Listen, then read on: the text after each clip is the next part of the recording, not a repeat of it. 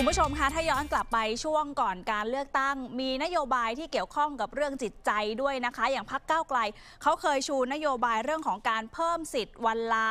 เพื่อไปดูผู้ป่วยระยะสุดท้ายของคนในครอบครัว ซึ่งก็ถือว่าเป็นนโยบายที่สอดคล้องกับสถานการณ์ในช่วงเวลานี้ที่มีดราม่านะคะเรื่องของลูกน้องที่ไปขอลางานหัวหน้า เพื่อไปดูใจคุณพ่อคุณแม่นะคะ ซึ่งสถานการณ์แบบนี้ไม่ใช่แค่สถานการณ์เดียวค่ะ เวลานี้สังคมค่อนข้างเหนื่อยจริง ๆนะคะ ทุกคนทำงานกันหนักนะคะ ต้องเจอสภาพแวดล้อมที่แย่ๆกันเยอะ การสร้างสิ่งแวดล้อมที่มาช่วยฮิวใจเนี่ยเป็นเรื่องสำคัญมากจริง ๆ มันมีข้อมูลด้วยนะคะ ที่พบว่าสิ่งแวดล้อมสภาพสังคมในปัจจุบัน เป็นตัวผลักดันสำคัญที่ทำให้เราอาจจะมีภาวะป่วยนะคะ ทางจิตใจ ภาวะซึมเศร้ากันได้มากขึ้นด้วยค่ะ เวลานี้จึงไม่น่าแปลกที่ละครที่มันสามารถฮิวใจคนดูได้ ได้รับเรตติ้งที่สูงทีเดียวนะคะ ดิฉันกำลังพูดถึงละครฮิวใจเรื่องนี้แหละค่ะเรื่องของมาตาลาดานะคะเพิ่งจบไปเองนะคะ เป็นละครของครอบครัว LGBTQ นะคะที่มีลูกสาวคนหนึ่งเธอมักจะถูกล้อ ถูกเพื่อนๆล้อนะคะ ผู้แต่งก็ใช้คำว่าถูกล้อว่าลูกตุ๊ดเลยนะคะ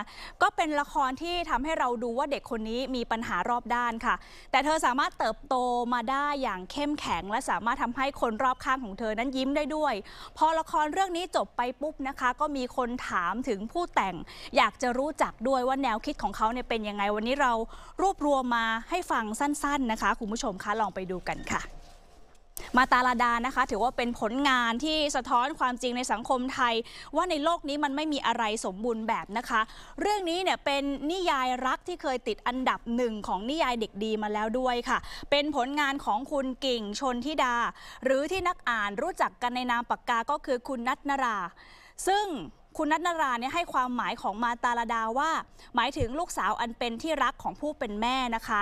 ผู้แต่งเนี่ยเปิดใจว่าแรงบันดาลใจในการเขียนนิยายเล่มนี้ของเธอมาจากลูกสาวนี่แหละค่ะ เพราะว่าอยากจะให้นิยายนั้นอยู่เคียงข้างลูก และคอยช่วยประคับประคองลูกเมื่อเติบโตขึ้นไป ในบทก็มักจะมีคำว่า ถ้าเจอเรื่องร้ายๆ ให้กลับมาที่บ้านเรา หรือในความหมายก็คือกลับมาอยู่กับใจของตัวเองเนี่ยนะคะ ความสนุกสนานและน่าสนใจของเรื่องนี้ก็ทำเอา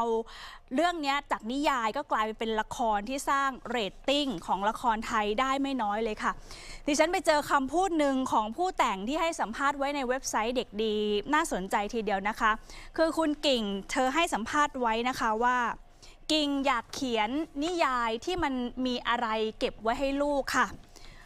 วันหนึ่งถ้าเขาโตขึ้นมา ถ้าเขาเข้าไปสู่สังคมที่ไม่มีพ่อแม่คอยปกป้อง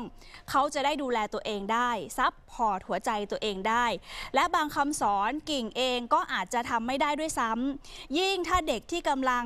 เข้าสู่ช่วงวัยรุ่น ก็จะเกิดกันคนเจเนอเรชันมันจูนเข้าหากันยากกิ่งก็เลยเขียนมาตาลาดาเรื่องนี้ขึ้นมาค่ะ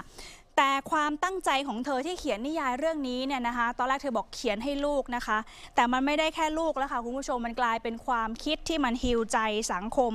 ทุกคนได้เรียนรู้ไปกับตัวละครและทำความเข้าใจกับเนื้อหาของละครเรื่องนี้ได้จริง ๆ ด้วยนะคะ แต่คุณผู้ชมสังเกตเห็นอะไรอย่างหนึ่งไหมคะว่าในละครเรื่องของมาตาลดา มันจะมีช่วงหนึ่งที่พ่อเกสพยายามสอนลูกและบอกเล่าเรื่องราวของมาตาลดาวัยเด็ก ว่าเธอเองก็เคยไปพบเคยไปปรึกษาจิตแพทย์เหมือนกันนะคะเพื่อจะได้ใช้ชีวิตได้ แต่ว่าหลาย ๆ บทในละครเนี่ยก็ไม่ได้พูดถึงจิตแพทย์มากสักเท่าไหร่นะคะจะเน้นไปที่เรื่องของสิ่งแวดล้อมในครอบครัวมากกว่า ครอบครัวมาตาลาดา น่ารักและสามารถฮิวใจ จนเขาเติบโตมาได้เป็นคนที่เข้มแข็ง สิ่งนี้มันกำลังสะท้อนว่าหลาย ๆ โรคหลาย ๆ ปัญหาที่เรากำลังเจออยู่ อาจจะไม่ได้แค่มีจิตแพทย์เป็นที่พึ่งอย่างเดียวค่ะ แต่สิ่งแวดล้อมก็เป็นส่วนสำคัญเหมือนกัน วันนี้เราเลยอยากจะชวนคุยเรื่องนี้แหละค่ะ กับคุณรุ่งโรจน์สมบุญเก่านะคะ ที่ก็ติดตามปัญหาเรื่องของสุขภาวะทางจิตใจเนี่ยมาอย่างต่อเนื่องเลยครับอย่างที่เรายกตัวอย่างไป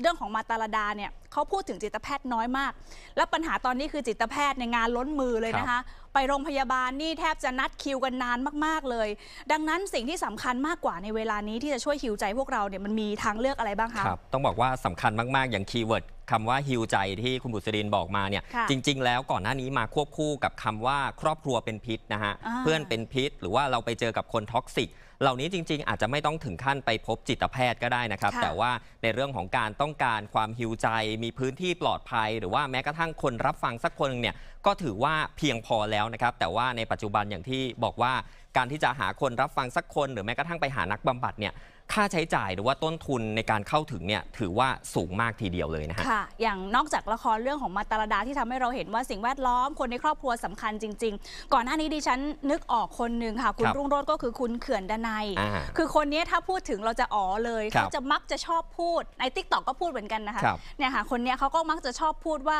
เวลามีอะไรเนี่ยมาปรึกษาเขื่อนได้นะเขาเป็นพื้นที่ปลอดภัยของทุกคนเป็นเซฟโซนของทุกคนเลยนะคะครับคือคุณเขื่อนด้านในเนี่ยนะคะเขาก็จะไปตามสถานที่สาธารณะต่างๆ ในกรุงเทพมหานครด้วยนะคะคุณผู้ชม แล้วก็ไปสร้างพื้นที่ปลอดภัยด้านจิตใจให้กับผู้คน คือใครที่มีปัญหาก็ไปปรึกษาเขาได้ คืออย่างน้อยๆเขาเป็นบุคคลสาธารณะครับใคร ๆ ก็กล้าที่จะไปพูดคุยด้วยนะคะ ใช่ครับต้องบอกว่าจบจิตบำบัดมาจากอังกฤษนะครับค่ะแต่ว่าสนใจปัญหาสุขภาวะทางจิต แล้วก็เรื่องของความเครียดในประเทศไทย ซึ่ง 3 สิ่งที่คุณเขื่อนบอก แล้วก็ย้ำเอาไว้นั่นก็คือในเรื่องของสุขภาพจิต หรือว่าอารมณ์นั้น จะต้องเข้าถึงได้นะครับ แล้วก็ไม่น่าอาย แล้วก็ที่สำคัญต้องฟรีด้วยนะครับ เพราะว่าถ้าเราลองไปค้นดูนะฮะในปัจจุบันจะพบว่าการจะเข้าไปพบจิตบำบัดสักครั้งนึงเนี่ยขั้นต่ำเนี่ยคุณบุษรินจะค่ะอยู่ที่ประมาณ 500 ไปจนถึง 3,000 บาทต่อค่ะครั้งเลยนะครับ ซึ่งก็ไม่ง่ายเลยสำหรับสภาวะเศรษฐกิจแบบนี้ หรือแม้กระทั่ง การที่เราจะมีปัญหาในเรื่องอารมณ์เนี่ยมันไม่ได้เลือกฐานะเลือกเศรษฐกิจนะครับคุณบุษริน ใช่เราอาจจะค่ะไม่ได้อยู่ในคนที่มีต้นทุนเพียงพอที่จะเข้าไปหานักจิตบำบัด หรือว่าจิตแพทย์ก็ได้ ซึ่งในเรื่องของการที่จะมีพื้นที่ปลอดภัย หรือว่าการที่จะมีคนที่มาคอยรับฟังคอยปรึกษาในลักษณะของการช่วยบำบัดด้วยไปในตัวเนี่ยก็ต้องถือว่าน้อยมาก ทีนี้นะครับถ้าเราลองมาดูในเรื่องของคำว่าสุขภาวะทางจิต หรือว่าคำว่าสุขภาวะทาง ปัญญากันบ้างนะครับว่าเอ๊ะสองสิ่งนี้มันแตกต่างกันอย่างไร แล้วก็ค่ะการทำงานของจิตแพทย์ นักจิตบำบัด แล้วก็คนที่เข้ามารับฟังเนี่ยมีความเหมือนหรือว่าแตกต่างกันยังไงนะครับในเรื่องแรกนะครับก็คือคำว่าจิตนะครับหรือว่าจริงๆก็คือเรื่องของจิตใจนั่นเองนะครับคุณผู้ชมก็คือในเรื่องของภาวะทางอารมณ์ ความรู้สึกชอบกลัวหรือว่าความอยากสัญชาตญาณในการเอาตัวรอดนะครับ ซึ่งทั้งสองสิ่งนี้นะครับก็